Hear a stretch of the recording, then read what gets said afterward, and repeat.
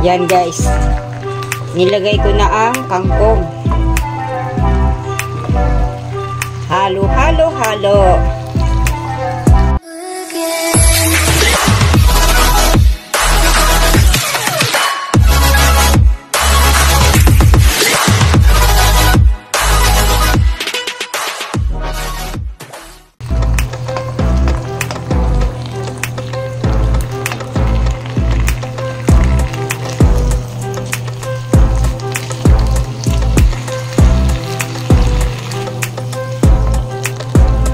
Guys, tatlong hotdog nga palang regular size yung nilagay ko.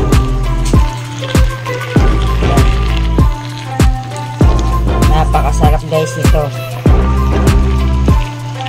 One of my favorite dish.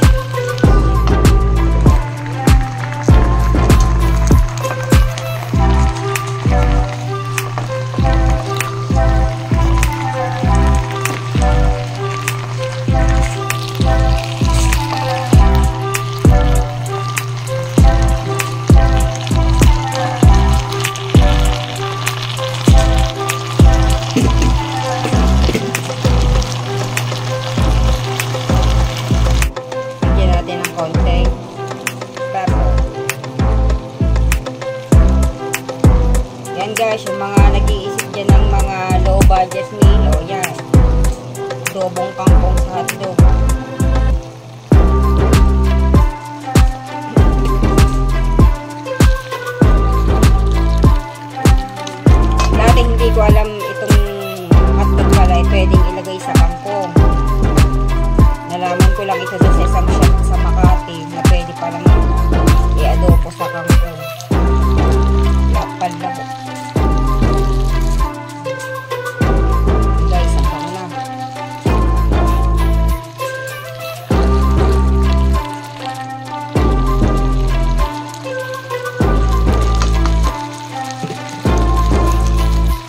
lang guys ng half cubes.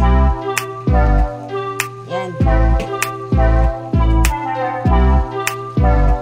Para naman kahit na walang meat, lasang meat pa rin siya.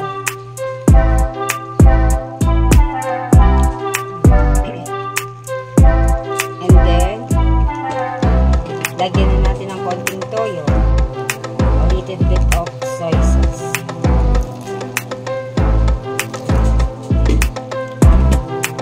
lang para hindi masyadong maalat.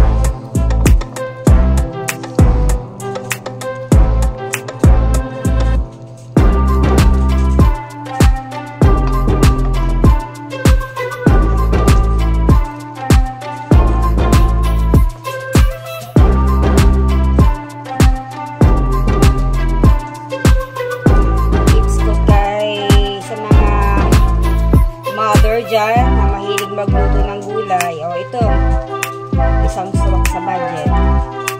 Adobong kangkong. Natin ng konting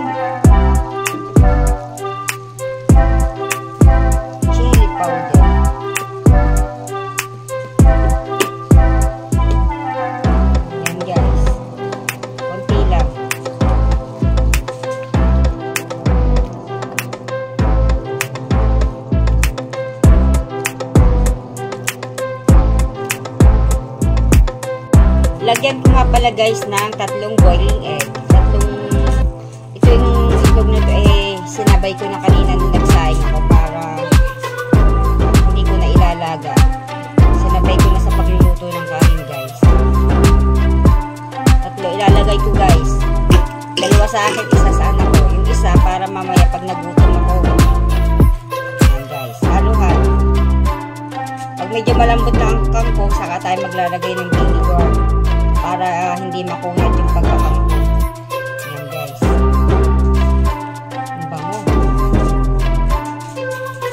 Ang nga pala guys, hindi advice, ab- advisable na magluto ng hotdog araw-araw para sa ating mga anak. Yan ay minsan lang sa isang linggo. Hindi nire-recommenda na